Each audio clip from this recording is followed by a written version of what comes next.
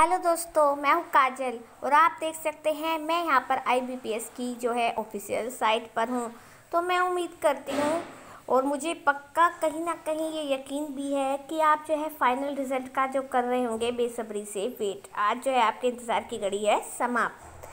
कई स्टूडेंटों को तो रातों को नींद भी नहीं होगा आई होगी कि हमारा फाइनल रिज़ल्ट जो है कैसा रहा होगा। कल आपकी जो है रिजर्वेशन लिस्ट आ गई थी आपने जो है वो रिज़र्व लिस्ट जो है देख ली होगी।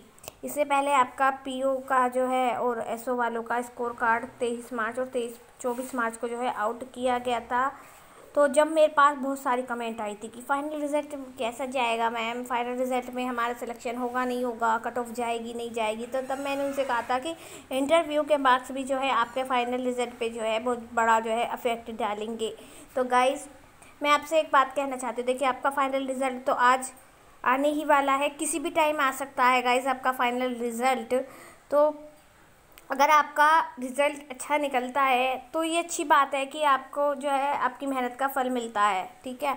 और यदि किसी का रिज़ल्ट जो है नेगेटिव भी निकलता है मीन्स होप से परे निकल जाए अच्छा नहीं निकलेगा तो उनको जो है गाइस डिसअपॉइंट नहीं होना है। क्योंकि हर बार जो है संघर्ष के लिए जो है हमें बार बार बार बार कोशिश करनी पड़ती है। जीत उसी की शानदार होती है जो हर बार जो है ना हारता है।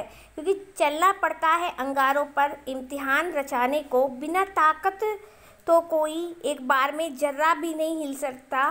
संघर्ष ही दिलाता है एक इंसान को उसका मुकाम, बिना मेहनत के कोई महान बन नहीं सकता। तो अगर आपको भी अपनी ज़िंदगी में एक कामयाबी चाहिए ना तो बार बार आपको हार के गाइस जीतना पड़ेगा, ठीक है ना?